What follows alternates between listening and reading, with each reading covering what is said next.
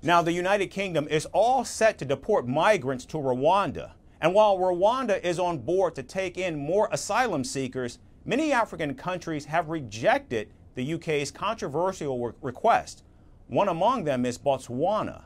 The country's foreign minister revealed that it has dismissed a proposal by Britain because Gaborone could not commit hosting people without knowing what their fate will be.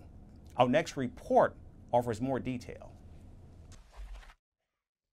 UK's Prime Minister Rishi Sunak has found a controversial solution to his country's migration crisis. Fly the asylum seekers some 7,000 kilometers away and deport them to Africa. In Rwanda, which Britain refers to as a safe country. But why Africa? Simply because no one else wants the job. With developed nations already facing migration pressures, there's not a lot Britain can choose from. However, not all African countries have been on board with Britain's plan. Among them is Botswana. Botswana says it has rejected UK's proposal to accept asylum seekers into the country. Lemogang Kwape, Botswana's Minister for Foreign Affairs, disclosed this during a media interview. He says authorities in Gabon were against, quote unquote, hosting people not knowing what the end game would be.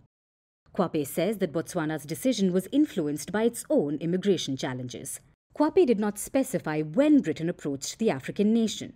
However, his comments came just hours after the UK Parliament passed the Rwanda Asylum Law. My Lords, Rwanda is a safe country that has proven time and again its ability to offer asylum seekers a safe haven and a chance to build a new life. Rwanda has a strong history of providing protection to those that need it and currently hosts over 135,000 refugees and asylum seekers who have found safety and sanctuary there. Britain's plan to deport asylum seekers was first floated in 2022. Since then, it has been marred by court battles and legislative delays. In the past two months alone, parliamentary deadlock stalled the passing of the bill several times. But on April 23rd, the bill was finally sent through. This was after Rishi Sunak insisted on forcing the parliament to sit as long as necessary to get the job done. And now the British Prime Minister expects to start sending asylum seekers to Rwanda by mid July. The first flight will leave in 10 to 12 weeks. Now, of course, that is later than we wanted, but we have always been clear that processing will take time. Sunak says that the government has booked commercial charter flights to fly the migrants away. But the UK is eyeing more than just Rwanda. After Sunak became Prime Minister in 2022, he instigated the search for additional countries to replicate the Rwanda deportation scheme. According to reports, the UK had approached countries including the Ivory Coast and Costa Rica. It had also considered deals with nations like Senegal, Tanzania, Angola, and Sierra Leone. Meanwhile, countries like Morocco, Tunisia, Namibia, and the Gambia have explicitly declined to enter technical discussions with the UK.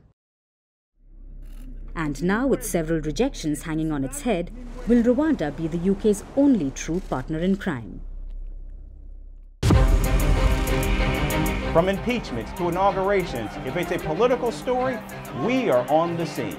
The race for the White House is heating up. We're beating Biden. How dare he say that? If it's breaking news, we're live with the latest coverage. From the White House, the State Department, and Capitol Hill, we know the issues, but above all, we know the players to bring you the latest in depth analysis on all the key stories that we're covering.